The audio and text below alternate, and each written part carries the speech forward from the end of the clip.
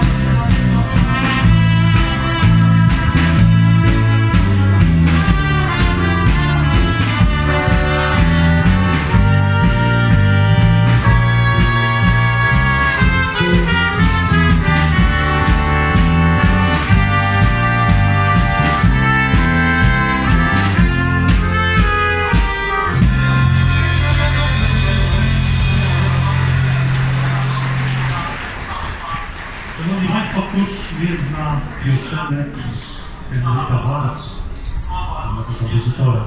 Między innymi postaramy się teraz zaśpiewać piosenkę, którą wykonywał sławny Eugeniusz Błodo.